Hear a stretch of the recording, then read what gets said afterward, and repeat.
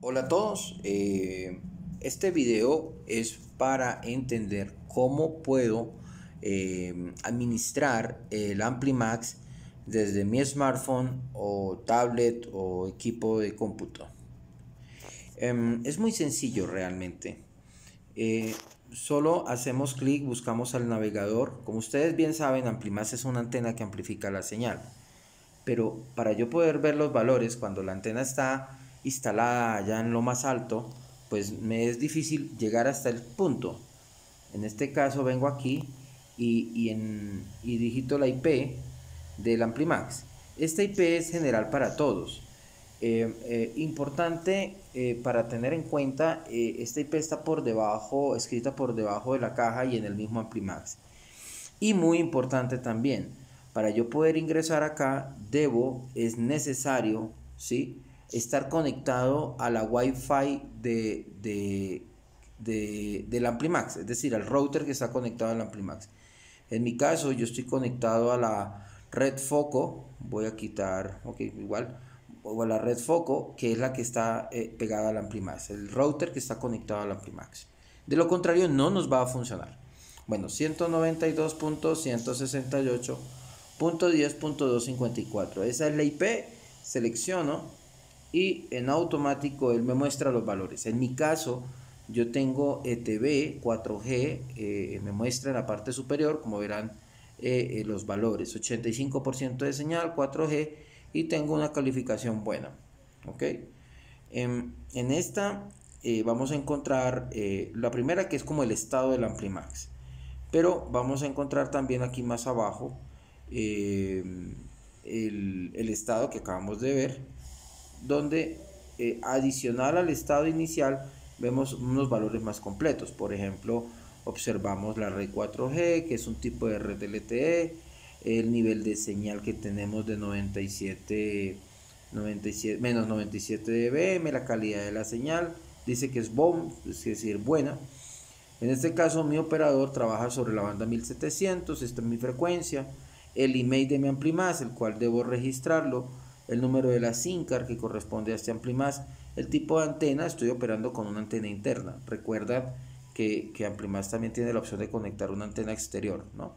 Bueno, y eh, el ancho de banda, solo en LTE, este es importante, es a la velocidad que navega, a la, a la velocidad del ancho de banda, perdón, la dirección IP, y muy importante aquí donde digo recontar, ahí vamos a ver eh, el consumo yo acabo de ponerlo en ceros y a partir de este momento voy a saber cuánto de él es download, es decir, bajada, y upload o subida. Entonces voy a saber cuánto de mi plan estoy consumiendo. Con la configuración de la conexión, pues encuentro todos los valores propios del Amplimax. Vamos a ver, por ejemplo, conexión celular. Y aquí veo las frecuencias. Yo puedo usar, por ejemplo, eh, que todos queden activos, ¿sí? O puedo decirle manual y no quiero que me busque nada en 2G, no quiero que me busque nada en 3G y vengo aquí en la parte superior y aplico los cambios. Ahora no lo voy a hacer porque pues nos va a tomar más tiempo. Eh, tipo antena interna o yo puedo cambiar. Si mi Amplimax tuviese una antena exterior, pues hago clic y lo igual, aplico cambios, aplicar cambios. Pero eh, pues no, mi Amplimax no tiene antena exterior, entonces lo hago con interna. Eh, el, modo de conexión que sea continuo, ¿sí? o manual, lo dejamos continuo, tiempo de espera, el tamaño de la MTU, de la WAN y un pin de registro. Habilitar IPv6, en algunos casos pues, uno lo puede hacer. Eh, atención, habilitar IPv6 desactivará las siguientes características, DDS, MZ. A mí me parece que estaría bien habilitarlo. Bueno. y volviendo acá, una configuración general donde vemos actualización de software, reinicio programado, una contraseña, puedo poner una contraseña para que nadie más acceda.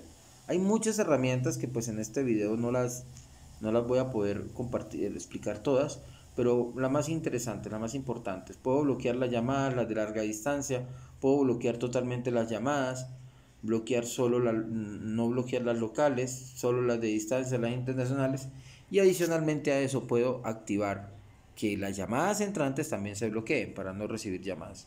En mi caso yo lo tengo eh, activo para todo. Las utilidades, yo puedo escribir un mensaje de texto acá o leer un mensaje de texto. Por ejemplo, aquí voy a ver todos los mensajes de texto que me han llegado. ¿sí? Sin datos, la recarga, aplicado, te duplicamos el valor, todo. Y por aquí mismo también me llegó el mensaje que me decía eh, que tenía que eh, eh, registrar mi email, ¿no? Entonces, pues igual lo hice y registré mi email. Ya sabemos que el email lo encuentro en conexión de configuración de la conexión. Y por aquí pues puedo enviar un mensaje, por ejemplo 318 393 1454 y voy a escribir un mensaje que diga, no sé, voy a escribir hola, mensaje de prueba. De prueba enviar.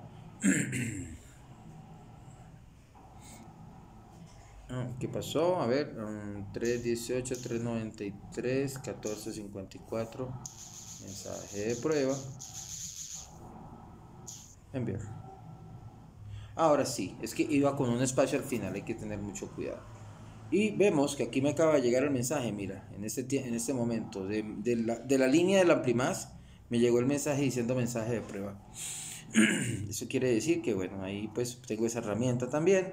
Eh, la búsqueda ciega me parece una herramienta muy importante también, porque con la búsqueda ciega yo voy a saber cuáles el, los operadores que hay aquí. Iniciar. Este es el primer paso que se hace en el Amplimax, pero aquí lo puedo hacer todo el tiempo y puedo estar mirando cómo, cómo, cómo están los operadores. Hice clic en iniciar y de una vez él, él arrancó con la búsqueda ciega. Este paso es importante porque quizás en algún momento viene un operador nuevo o nos ponen una antena nueva, una torre nueva y, quizás yo observe o vea que, puede ser mejor cambiarme de operador, ¿no? Pero eh, eh, pues en este caso eh, simplemente nos va a entregar el listado y pues yo no voy a hacer ningún cambio. Em, bien, aquí me encontró que tengo con Avantel, donde yo me encuentro, 99%, Movistar 92, Claro 90 y Tigo 85 en toda la fila del 4G. Y en la columna del 3G no hay torre Avantel cerca. Eh, de Movistar hay 95, 98 claro, Tigo 75. Y en 2G no hay señal, no hay ningún operador. Entonces, él además me guarda la fecha, me guarda la hora y esto me va a permitir a mí, pues de alguna manera tener un control eh, mirando de qué manera puedo mejorar mi, mi, conexión. Por ejemplo, yo debería tomar la opción de cambiarme a Movistar o a, o a Avantel porque en este caso eh, Tigo me está dando el 85, que es sobre el que funciona TV. Pero eh, quizás lo pueda geoposicionar, lo pueda ubicar mejor y, la antena y me va a dar una, una mejor señal. Bueno, eso es todo por hoy amigos. Muchas gracias. Espero que el video les sea de mucha ayuda. Un abrazo, felicidades.